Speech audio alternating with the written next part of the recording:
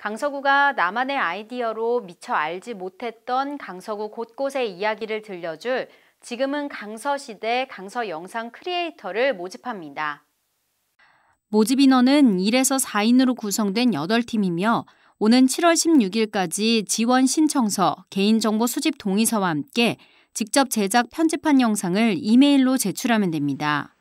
활동 기간은 오는 8월 1일부터 12월 31일까지며 관광, 문화, 볼거리와 놀거리 등 강서구 관련 주제로 5분 이내의 구정 홍보 영상 콘텐츠를 직접 기획하고 제작하면 됩니다. 국민들의 창의력을 바탕으로 보다 많은 구정 정보가 공유될 수 있었으면 좋겠습니다. 재능 있는 국민들의 많은 참여를 바랍니다.